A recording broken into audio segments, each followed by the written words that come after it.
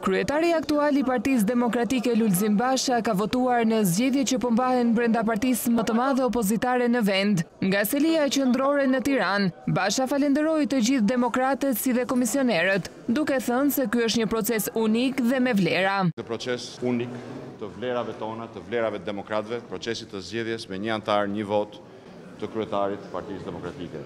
Këto janë vlerat tona, janë vlerat e demokracisë. Sipas Bashës, këto vlera të konkurrencës dhe debatit, ka nisur nga beteja e demokratëve për ndryshime dhe me to do të vazhdojë deri në rrëzimin e regjimit. Janë vlerat e shprehjes lirë, janë vlerat e konkurrencës dhe vlerat e debatit. Me këto vlera e kemi nisur betejën për ndryshimin.